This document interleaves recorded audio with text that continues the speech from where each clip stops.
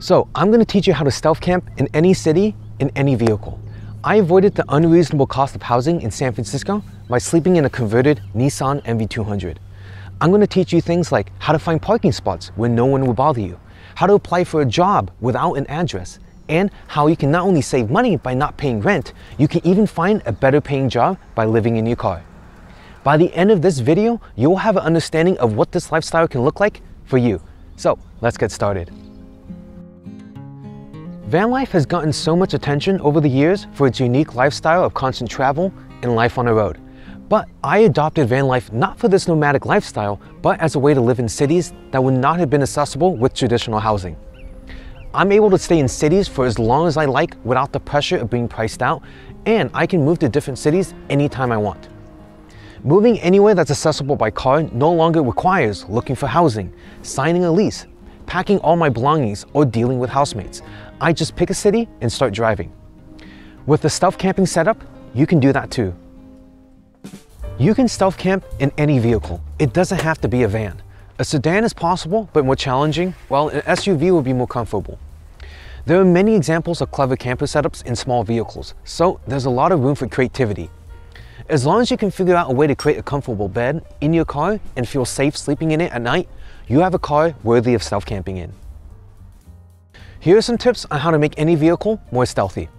The first one is window tint. On my van here, I have 35% tint on these front side windows and 85% on my windshield. If I was stealth camping in a passenger vehicle like the CRV, I would completely black out the back windows with 5% limo tint and 20 to 35% tint on the front windows. I would also black out the rear windshield too with 5% tint and either 70 to 80% for the front windshields. My next tip is to add dark color curtains behind your driver and front passenger seat. The combination of blackout tint and curtains will create complete privacy in the back space of your vehicle. My last tip is to add wind deflectors to your windows. You want to keep your windows cracked open while you're sleeping for fresh air and to reduce condensation building up on the inside of your windshield. These deflectors are great because they allow you to keep your windows open even when it's raining or snowing. And most importantly, they hide the fact that your windows are cracked open. Once you have a car that you feel ready to stealth-camp in, try it out for one night in the city or on a weekend camping trip and see how it feels. From there, you can get a sense of what's lacking and figure out what you can do to improve it. The best way to find a long-term parking spot is to first scout for locations using Google Maps. There's really no limit to where you can find parking in a city. It could be in a commercial zone, residential, or anything in between. The goal is to find a spot where people pay little attention to your vehicle or just don't care if you're sleeping in your car. Here's a couple tips you can follow. Park on streets where other cars are parked at night. Busy neighborhoods or streets near apartment complexes are great because they're usually packed with cars and people living nearby don't mind seeing an unfamiliar vehicle. It's possible to park in quiet neighborhoods, but you want to avoid parking directly in front of a house. Instead, park next to an open area or non-residential structure like churches or public buildings. Parking lots can be a great option too. For example, some train and bus stations have large parking lots with free overnight parking with no limits. In California, there's usually parking lots near the beach, so look for the ones with free overnight parking. When I was living in San Francisco in my van, I eventually found the perfect parking spot. Every morning I would get up, get dressed, exit through the driver's side door, then walk two minutes to the gym where I worked out and showered. From the gym, I would walk back to my van, change my clothes, then walk five minutes to the train station to commute to work. I never had to move my van unless there was street sweeping, which meant that I was saving on gas and keeping my car maintenance costs down. I slept in the same spot every night in the middle of a neighborhood without any issues. The only way I could have found a better spot was if I parked within walking distance from my workplace in downtown. But I avoided that because car break-ins were unfortunately very common in downtown San Francisco. So I chose to park further away and take public transit. The ideal parking spot is where you can safely park your car every night and have everything within walking distance or a short commute away.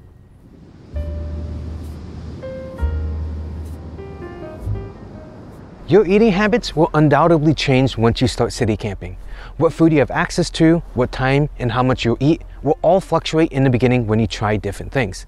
and food costs will likely become your biggest expense. Not having access to a kitchen while living in an expensive city will make it challenging to keep food costs down. When I was living in San Francisco, I was eating out for all my meals and I was spending between 800 to $1,000 every month on just food. My biggest design regret for my van was not including a dedicated cooking setup. I can cook out of my van, but to a limited capacity. There can be a lot of creative solutions to keeping food costs down. You can cook outside of your car using a portable stove, ask a friend to use their kitchen to meal prep once a week. Personally, intermittent fasting is a great solution. I eat one big meal a day and that cuts my food costs roughly in half. There's also many studies about the health benefits of fasting. However you do it, managing the cost of food will be a huge way of reducing your monthly expense. Now, the most important thing to keep in mind when thinking about food is to prioritize eating healthy over reducing cost. I know the premise of this whole video is about sleeping in your car to save money, but saving money isn't life's greatest purpose. Your health is more important. COVID revealed to many people the fact that they didn't have to physically be in a workplace to get work done. For some, working from home was as effective or even more so than working from the office. And even if you don't currently work remote, a growing portion of the job market is opening up options to partially work remote or completely remote. This means that it is easier than ever to find a online job. Now, instead of working a remote job from a home, why not take it a step further and work from a van? You could be on the road traveling and recreating while still maintaining an income to support that unique lifestyle. It has never been easier to be a digital nomad. Remote work is ideal for this type of lifestyle, but having a job where you commute to a workplace is still feasible with car camping. When you look for a non-remote job, you might want to consider looking in dense or affluent cities because the wages in those communities are typically higher. For example, the minimum wage in San Francisco is always a few dollars more than the state average, so working in San Francisco would guarantee a higher wage than other parts of California. And because you're reducing your overall expense by eliminating rent, you get to benefit more from that wage increase and pocket more money. This is how you find a better paying job by living in a car. If you don't have a permanent address, what do you write on the address part of any tax form like an I-9 or W-4?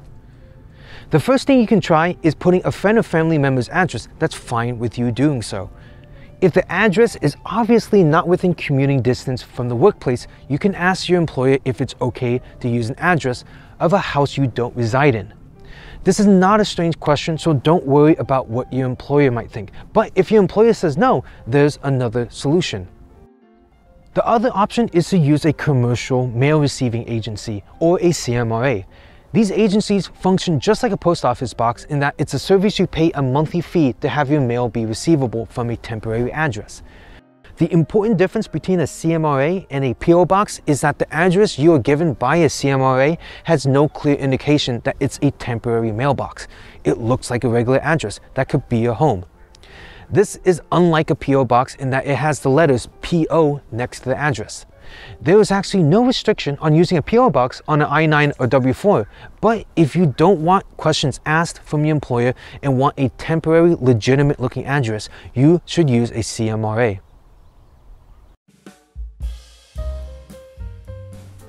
Dealing with extreme temperatures in the winters and summers can be the biggest challenge someone will face while living in a car.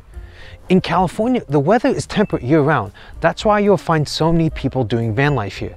The climate is especially mild along the California coast, where many homes within a mile or two from the beach don't even have air conditioning.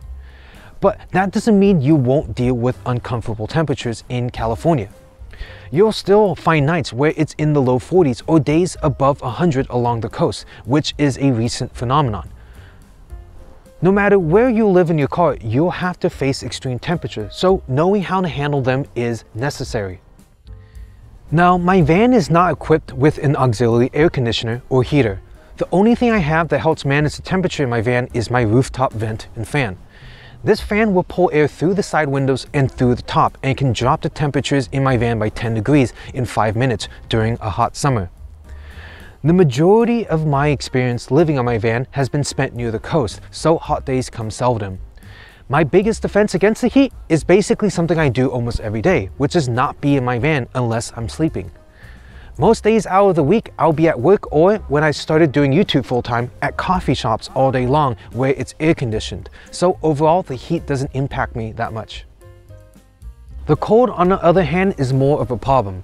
In the winters, I've slept through some chilly nights, with the coldest night I've slept through being 38 degrees Fahrenheit. There have also been weeks where it's consistently in the low 40s. I can use a propane heater, but it's too much of a hassle to store and I'd have to spend money on propane. So instead, I will layer up with warm clothing, wearing a base layer and a jacket, then sleep in a low temperature rated sleeping bag. But let me make this clear, I honestly don't mind sleeping in this cold. I don't ever dread cold mornings where I have to wake up and get ready in the cold. It's not pleasant, but it's tolerable. I know I deal with the cold better than the average person, so just layering up and sleeping in a warm sleeping bag might not be sufficient for you. So here are some tips on how you can keep your car at a comfortable temperature. Tip number one, to keep your car warm, only invest in insulating your car if you have a heater. Insulation alone will do little to nothing to keep your car warm. You need a heater for insulation to actually have a purpose. Tip number two, in the winter, park where the sun will hit your car early in the morning. This will help warm up your car in the morning as you're getting up. And in the summer, park in the shade of big buildings or trees for as much of the day as possible to keep your car cool. Alright, so tip number three is to consider getting custom magnetic window covers for your side windows. Now, if you were to get them, I would recommend getting ones with a reflective backing.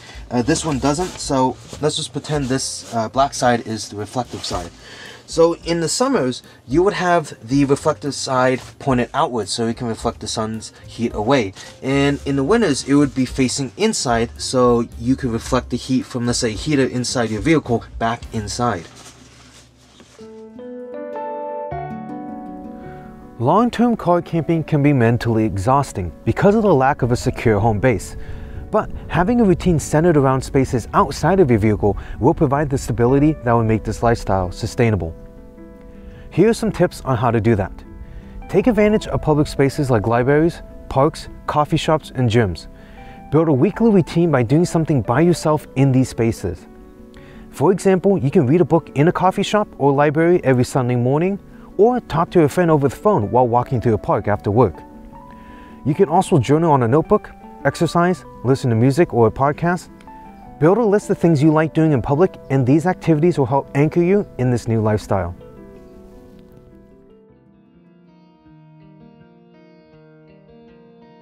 When you live out of a car, you're stripped of the basic amenities that a home has running water, electricity, internet, but living within the bounds of a city means that you have access to all those amenities. Public restrooms, hot showers at a gym, free Wi-Fi and electrical outlets at a local library. The issue is that they're not convenient to access. This is obviously the greatest downside to living in a car, but this drawback brings new opportunities with it. I have to go to the gym every day in order to get a shower, but I might as well work out beforehand because I'm already here. I have to go to the coffee shop every day to charge my phone and laptop, but I can interact with friendly people each time I'm there. But none of these opportunities were granted to me. I can walk into a gym to only shower and never touch a treadmill or weight. I can walk into a coffee shop and the only words I say to someone there is my coffee order. The actions I take will impact what will and will not happen in my life.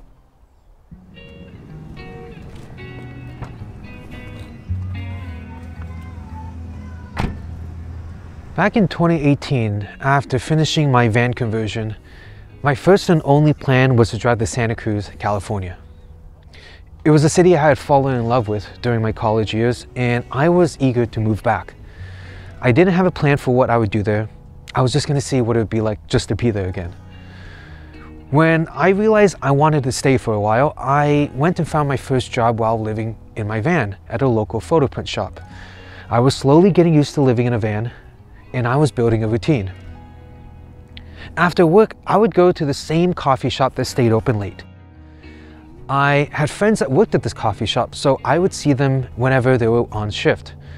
And eventually, I knew the names of all the baristas and had friendly interactions with them every time I saw them. I had a group of people that knew my situation, and some offered me a place to park my van and even a room if I ever needed it. Seeing these people every day and knowing that they cared about me was profound.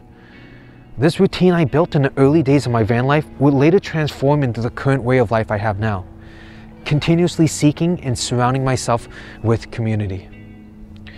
The reason why I stay in one city and don't travel around in my van is because I enjoy staying close to my community. I saw a familiar face every single day I lived in my van. And for me, that's what makes living in a van worth it.